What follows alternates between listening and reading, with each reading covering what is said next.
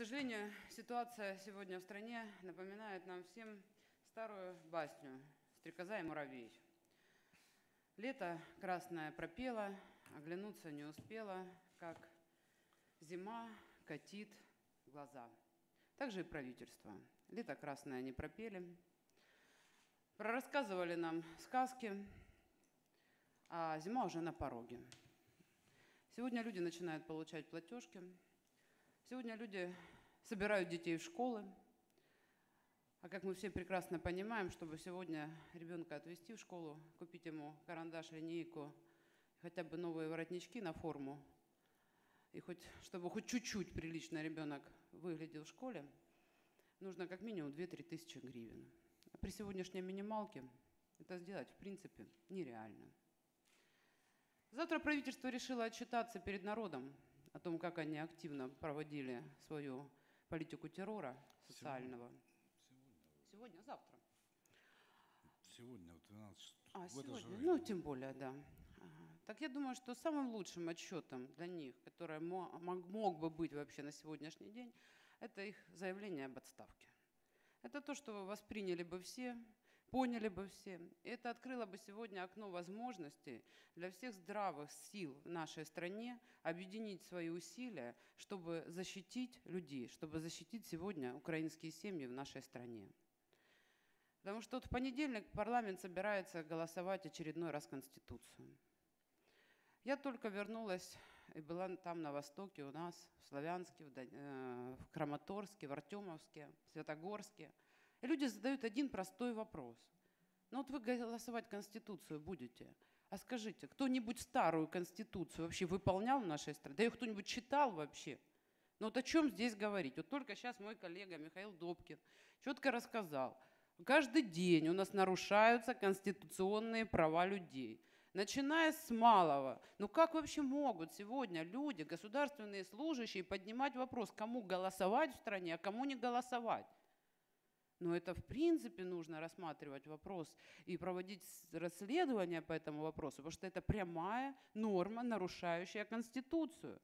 Я приехала в Славян, встретилась с самыми обычными людьми на улице. Они задают вопрос, а как это так? На каком основании у нас сегодня заберут голос? Вот на каком основании? Просто так? Потому что мы, наверное, не за тех проголосуем.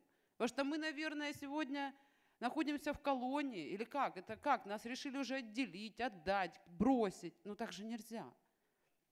Поэтому мы считаем однозначно, э, не может быть вообще в дискуссии в стране проводить на каких-то территориях нашей страны выборы, либо не проводить. Сегодня запретят выборы в Краматорске, в Артемовске, либо в Лисичанске, а завтра их точно так же могут запретить в Киеве, в Харькове, в Одессе, потому что, возможно, кому-то не понравится, какой там избиратель живет. Поэтому эта норма, конечно, недопустима. Также вопрос пропусков. Ну скажите, сколько можно издеваться над людьми? Просто издеваться.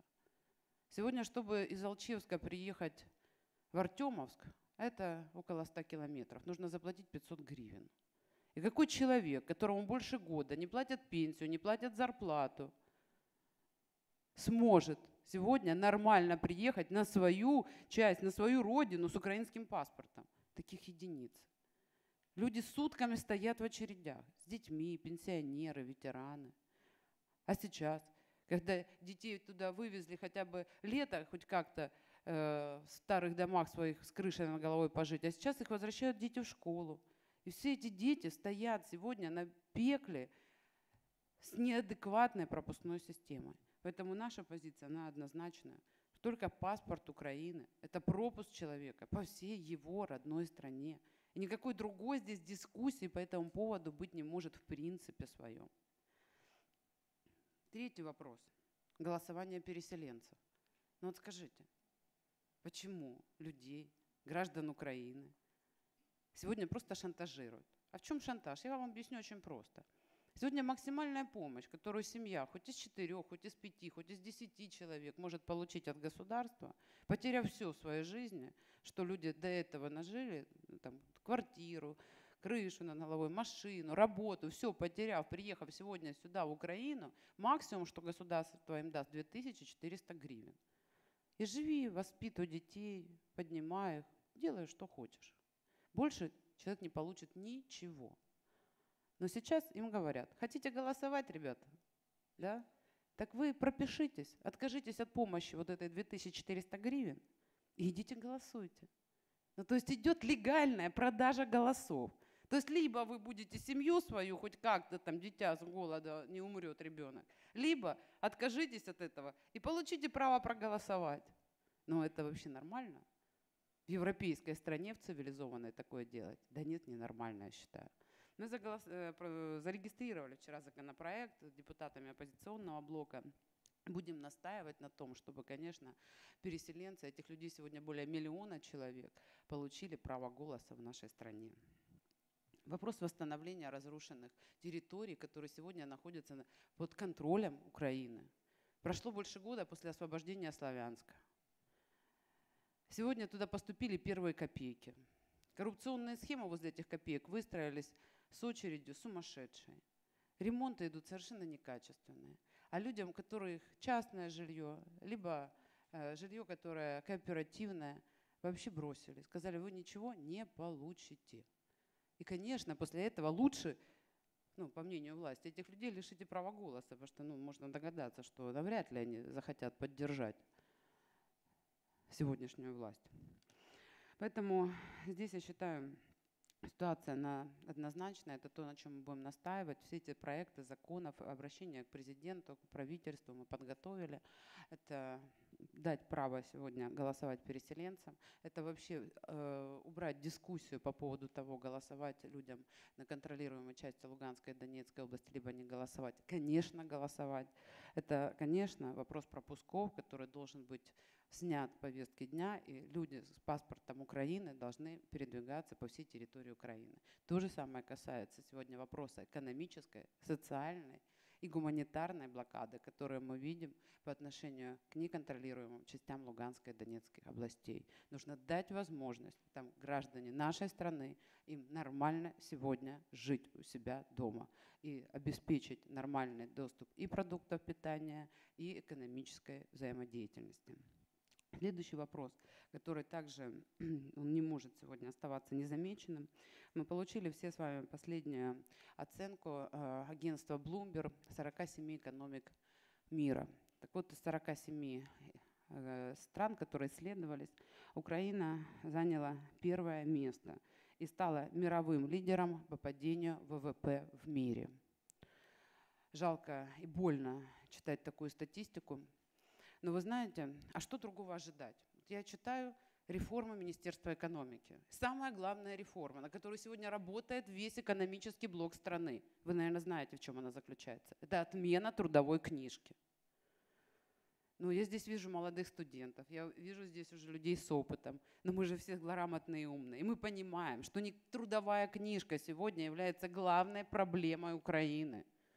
С ними можно разобраться и вообще об этом даже не говорить а технически решить этот вопрос. А главная проблема сегодня это отсутствие рабочих мест, это отсутствие выплаченных заработных плат и отсутствие индексации социальных стандартов. Поэтому мы настаиваем на одном. Это, конечно, индексация заработных плат, пенсий, социальных стандартов. Профицит бюджета за первое полугодие этого года 12 миллиардов гривен. Эти деньги у них лежат в казначействе. Мы зарегистрируем сегодня законопроект, сейчас депутаты его подписывают, на индексацию всех социальных стандартов на 75%. Это тот минимум, который сегодня государство обязано отдать своим людям. И это те деньги, которые у них сегодня есть на расчетном казначейском счете. Следующий вопрос – это, конечно, социальная защита.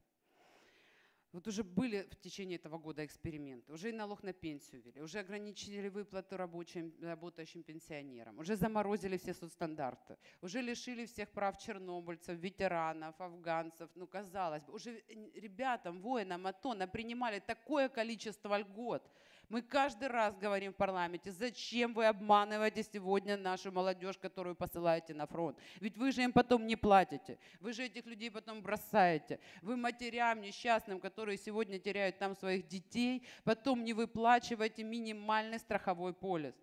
Ну, может быть, хватит уже врать. Ну, нельзя же на этом, в конце концов, сегодня э, издеваться над людьми. Так они, в конце концов, решили принять еще одно решение. И с 1 июля лишили льгот детей войны и многодетные семьи. Ну, это, наверное, самые зажиточные люди в нашей стране. Да? Это, наверное, тех, кому уже некуда деньги складывать. И поэтому, когда там что-то рассказывает наше правительство о том, что у нас богатые заплатят за бедных, и о том, как у нас тут деолигархизация в стране происходит, то я так понимаю, что надо уточнить понятие слова «олигарх». Потому что сегодня детей войны, многодетные семьи, чернобыльцы, пенсионеры, ветераны, афганцы, э, именно их решили, что именно они сегодня самые богатые люди. Поэтому мы подали э, все обращения в Конституционный суд и относительно того, что эти решения, они нарушают нормы Конституции Украины, прямые нормы Конституции. И, конечно, эти решения нужно отменять как антиконституционные, восстанавливать, восстанавливать те социальные права, которые были у людей, и проводить глобальную реформу сегодня э, по льготам и глобальную реформу по социальной защите. Такие программы, они полностью подготовлены оппозиционным блоком. И мы полностью их предоставили и дали на изучение как экспертной среде, так и непосредственно членам действующего правительства и коалиции. Но, как мы видим по результатам, они и почитать их не удосужились. Поэтому мы предлагаем одно. Это, конечно, отставка действующего правительства. Это, безусловно, объединение в парламенте всех здравомыслящих сил, объединение ради того, чтобы экономический патриотизм сегодня был выше и объединил сегодня страны ради того, чтобы сохранить в стране социальный мир и победить бедность.